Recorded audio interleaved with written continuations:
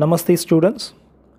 Today we are going to learn about a lesson, The Lost Child.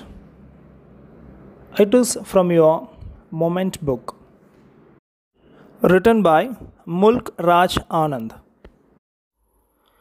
This is the introduction of The Lost Child lesson. The Lost Child is the story of a small child who gets lost in a fair. He had gone with his parents to the fair but loses them when he gets engrossed in looking at a roundabout swing.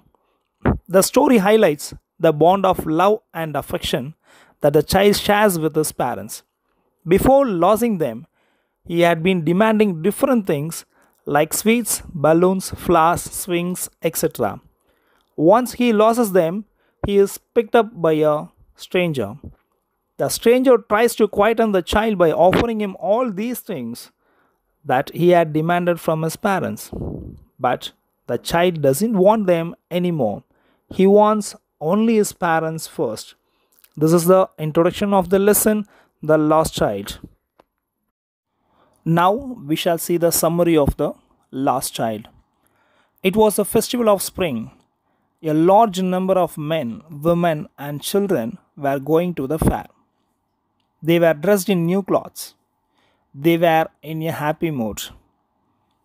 The child was also going with his parents to the fair. The child was also very happy. He was attracted by various things. He lagged behind again and again.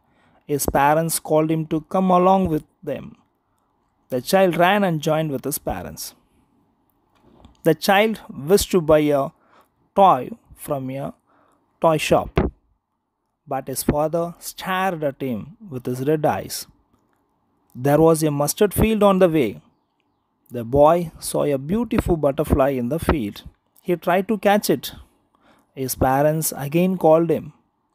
After some time, the child's parents rested under a banyan tree near the well.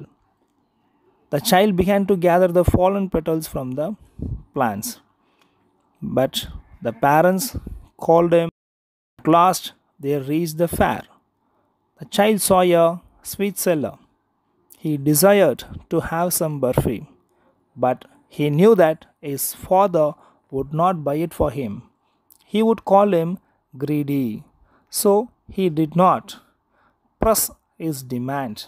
He then wished to enjoy a. So he moved on from that place and soon came across a seller. Fascinated by the Gulmohar garlands, he again made a faint demand for flowers, but he knew very well about his parents. They would say it was very cheap in their opinion. Moving on, he saw a balloon seller. He was thrilled to see the brightly colored balloons, but knew that his parents would not buy one for him because they thought that he was too old to play with balloons.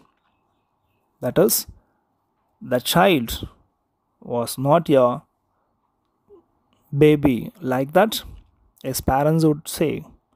Next, a snake charmer playing the flute drew his attention.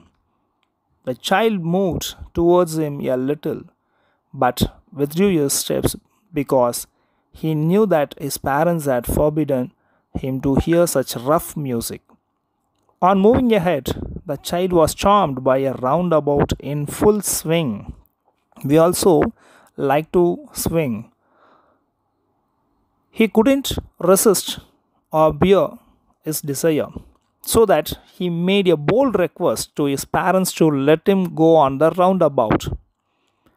But there was no reply from his parents. They were not to be seen anywhere near him.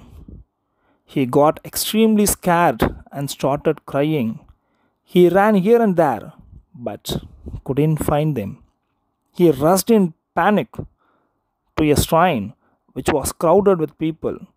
He tried to make his way through the feet of his crowd, but was knocked down and began crying loudly.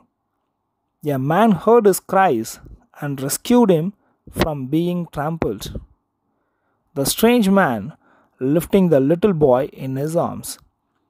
The kind man asked him how had he got there and whose baby he was.